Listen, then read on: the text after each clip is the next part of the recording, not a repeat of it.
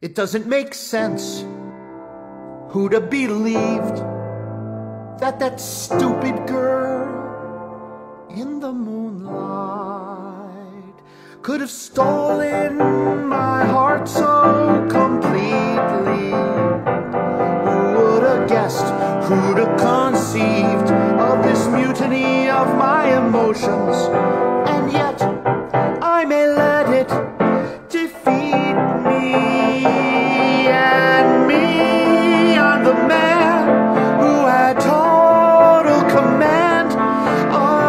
Senses.